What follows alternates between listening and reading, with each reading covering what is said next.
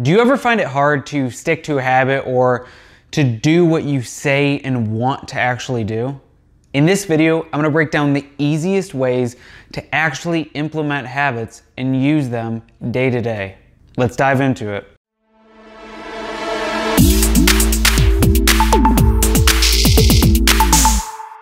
Too often, I see people who are saying one thing but not doing what they're saying, and typically that means that their intention and what they actually want to do are out of sync.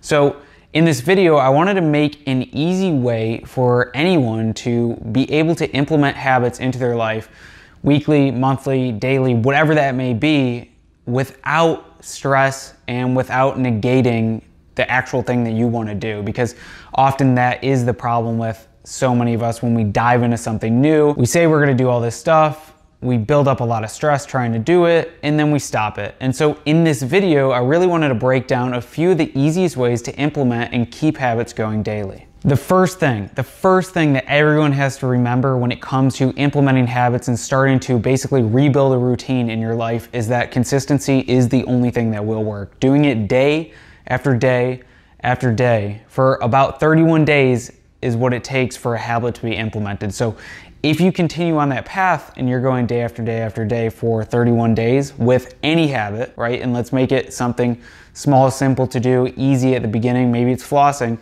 then that's gonna be the easiest way to guarantee that you continue to keep that habit up and you're always doing what you want to do. Number two is to remove obstacles or distractions when it comes to whatever you're trying to implement. If you want to go to bed early, maybe it's not a good idea to have a TV in your room. If you want to floss, maybe it's not a good idea to have your floss hidden away in some drawer or compartment. The more that we take away these obstacles, the easier it is for us to set ourselves up for success, leading to number three, which is actively set yourself up for success with habits. No matter what you're doing, likely there's something else that you could be doing which will set you up for better success. If you're starting a new supplement regimen, it doesn't really make much sense to keep all your supplements out of view from where you do your day-to-day activities, right? If you're supposed to take your supplements with food, then quite literally, you should make sure your supplements are next to your food. The more that you do that, the easier it's going to become to every single day take your supplements. The same goes for reading. Make sure you have books at the place where you lounge post work, or maybe you have to do research and read for work.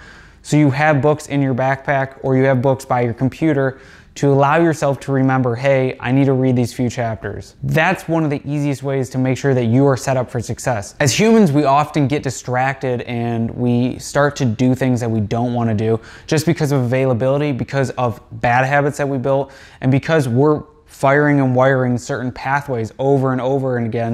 And that's why we check our phone 67 times throughout the day trying to see what is going on when we know nothing has changed because we checked three minutes ago. Number four is accountability because you have to have some reason and something actually holding you to this habit. What you focus on gets energy put into it. So by creating either a journal, a notebook, some type of Excel document, or something that will allow you to daily list down the habits, say that you've done them, make sure that you are accountable, you're allowing yourself to be put in a position where you go every day, oh, did I do what I was supposed to do?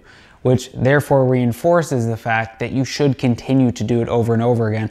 And your mind realizes that not only did you build in the habit of looking to see if you did the habit, but that you either did or didn't do it, so then you can do it during the day. And the last thing is the habit has to have a purpose. If you're going to implement a habit, anything, there has to be a purpose behind it. Even if it's just that you want to do something or that you've seen that it might be better if you do X than it is Y, or if you set your day up in a different light, that can be one of the most beneficial things to actually allowing you to succeed in what you're doing because of the fact that there's a purpose behind it. But if you're doing it just because you heard something and you don't know if it really works or you really don't want to do it, well then that can detract a lot from what you're actually trying to do. There has to be a purpose behind everything. And if there isn't a purpose for why you're wanting to do something, then likely you're not ever going to do it. That's it for this video. I hope it helped. If it did, make sure to press the like button, leave a comment below with your favorite habit or something you're trying to implement right now,